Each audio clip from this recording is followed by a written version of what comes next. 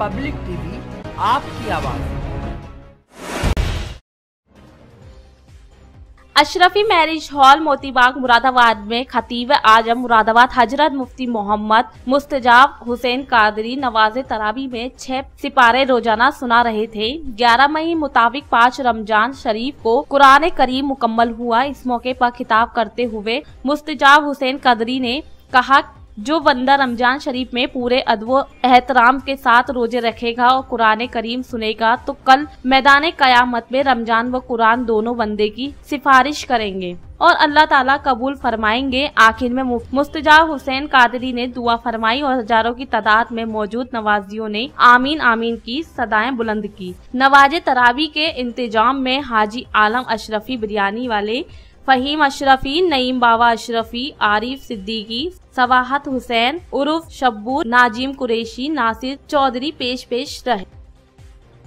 रमज़ान शरीफ के महीने में मोहब्बत के साथ रहें, अदब के साथ रहें और ऐसे रहें कि लोगों को भी, गैर मुस्लिम को भी परेशानी ना हो, वो भी हमारे भाई हैं, और उनके साथ ईद मनाएँ खुशी दिल से। यकीन के साथ तो नहीं, लेकिन जो मुझे याद आ रहा है, जहाँ तक मेरी याददाश्त काम कर रही है, ये गालिबा मेरी इक्कीसवीं मेहराब है। देखिए, इस साल मैंने अशरफ मैरिज हॉल में कुरान करीम सुनाया। आज कुरान करीम मुकम्मल हुआ। अब जहाँ तक अगले साल की बात है तो अल्लाह जाने, उसका रसूल जाने, या फिर यह हमारे हाजी आलम साहब यहाँ मौजूद हैं।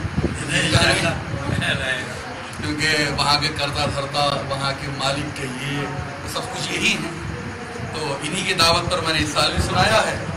अगले साल को अल्लाह मालिक है जैसा भी माहौल अगले साल की दवा दे देते मैं इस मौके पर एक गलत फहमी को दूर करना चाहूँगा। अक्सर वेशतर ऐसा होता है जो लोग पाँच पारे सुनते हैं या छह पारे सुनते हैं या तीन पारे सुनते हैं या दो पारे भी सुनते हैं एक जहन ये बना हुआ होता है कि आज हमारा कुरान करीम मुकम्मल हो गया, आज हम फारिग हो गए, आज़ाद हो ऐसा नहीं बेशक वो फारिग हुए हैं, एक सुन्नत से वो फारिग हुए हैं कि उनका कुरान करीम मुकम्मल हुआ।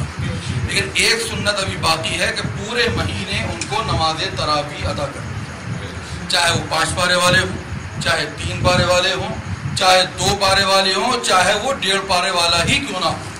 बाईस दिन के बाद भी वो ये नहीं सोचेगा कि मैं आज़ाद हूँ।